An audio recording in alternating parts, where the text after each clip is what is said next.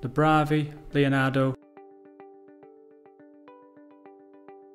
Those who intend to use any machine with characteristics of weight, height, width, length or complexity which differ significantly to the training they have received should ensure that they receive a familiarisation to cover the differences. It is the employer's responsibility to ensure that all operators using equipment are adequately trained and familiarised to comply with current health and safety legislation. Machine specific familiarisation should follow on from basic training and cover the manufacturer's instructions and warnings, features of the specific model, control functions, safety devices and emergency lowering procedures. All of the above are to be found in the operator's manual supplied with the machine. The operator's manual is located in the platform in the black box.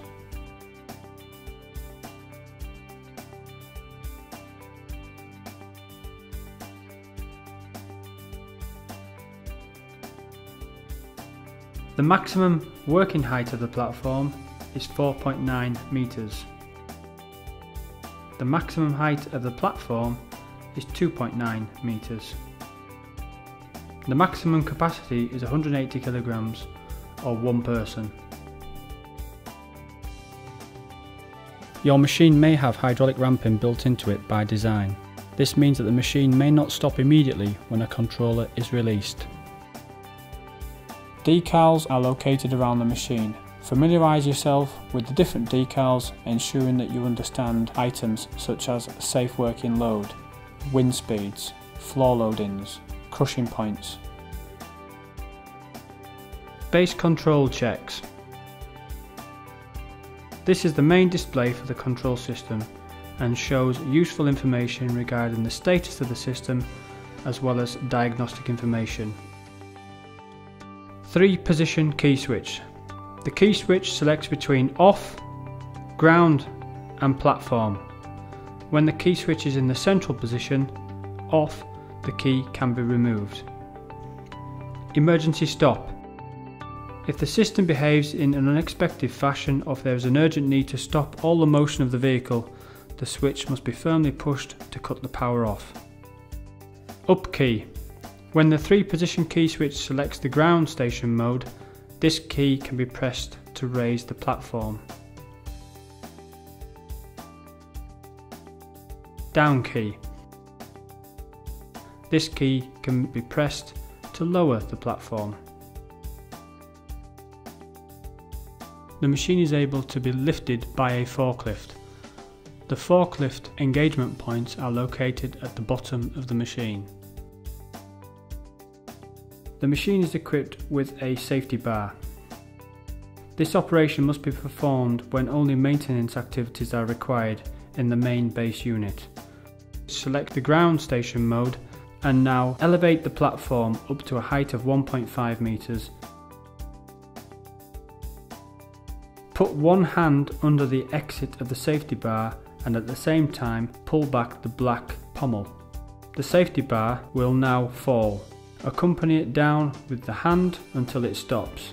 Remove the base covers from the machines.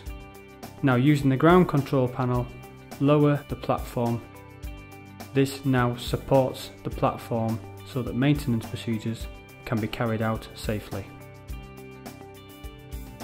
To put the safety bar back into the desired position, elevate the platform 4 inches and now pull the black pommel and elevate the safety bar back into its storage position. Now fit the panels back to the ground station and secure and lower the platform to the ground. Platform control. The lift key and drive key are used to select which mode the vehicle is set to. Select lift lower or drive mode at the touch of a button. Wheel blocking device will activate the wheel blocking device, thus enabling the driving of the vehicle only along a straight line, both backwards and forwards. The LED lights indicate that the wheel blocking device is activated. The LED off indicates that the device is deactivated, thus enable normal driving in every direction. Mode key lift and lower. The LED indicates that the lift lowering function has been selected. When it is in the off position, the lift lowering function is not selected. Battery gauge. This is a 10 segment illuminated display that gives the state of charge of the battery. One LED equates to the minimum battery charge state. When 10 LEDs are lit, this indicates the maximum charge state. The joystick controls the driving of the vehicle as well as the platform ascent and descent.